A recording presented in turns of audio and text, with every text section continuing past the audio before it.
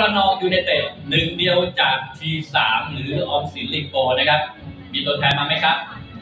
ถ้าไม่มีรบกวนคุณสมชัยจับแทนเลยนะครับ มีครับ มีครับ มีครับ มีนะครับอ๋อมีนะครับอ๋อขอบคุณครับ แกนอันดามันระนองยูไนเต็ดรอบ32 ทีม ชนะ PTT ระยอง 1-0 และรอบ16ทีมชนะสุโขทัย 1-0 นะครับ ชนะ 1-0 ทั้ง 2 นัด 5 นัดที่เล่นเป็นเจ้าบ้าน4นัดนะคหรับนึ่งเดียวจากลีกภูมิภาคของเรานะครับ ถ้าได้เป็นเจ้าบ้านจากไทยลีกสามครับ จะได้เจอใครครับแกนอันดามันระนองจับได้หมายเลขสามโอ้โหเป็นเจ้าบ้านเจ้าบ้านอีกครับผมแล้วเจอหนองเจอหนองบัวครับผมด้วยโอ้โห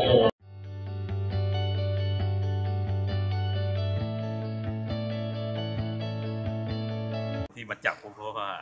ก็อยากจะเล่นในบ้านนะก็เลยถ้าเกิดจับไม่ได้เล่นในบ้านก็รับผิดชอบเองแต่เมื่อจับได้เล่นในบ้านก็ถือว่าโชคดีนะก็เจอกับหนองบัวพิทยาก็เขาเป็นทีมที่ขึ้นมาถึงรอบนี้ก็ทุกทีมก็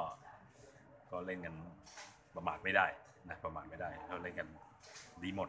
นะครับ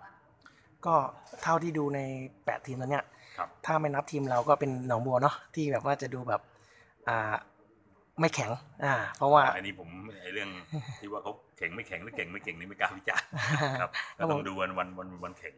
นะอืมแต่ทุกทีมก็คำเมื่อเข้ามารอบแปดทีมนี่ผมถือว่านะจุดแข็งจุดเอ่อทีเด็ดที่ขาดมีกันทั้งนั้นนะครับ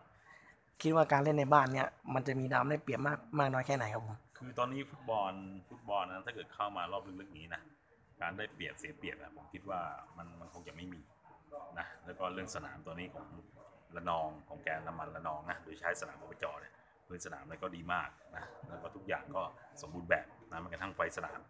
นะแล้วก็อย่างที่อยากจะเล่นในบ้านไม่ใช่ว่าจะไป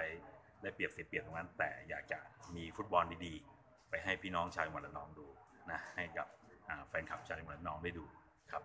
แน่นอนละมาถึงรอบเนี้ยต้องต้องหวังอยู่แล้วครับอะตรงนี้อยากบอกยังไงบ้างครับก็หวังหวังนะอืมพูดถึงตรงนี้หวังอะไรก็คือหวังอยากจะเข้าไปชิง นะก็เดี๋ยวกลับไปก็ต้องทำการบ้านอีกเยอะครับคำถามเดิมครับที่เคยถาม คิดว่าจะเซอร์ไพรส์อีกไหมครับ ไม่มีเซอร์ไพรส์กับทำได้ครับครับพูดถึงแฟนบอลนะครับผม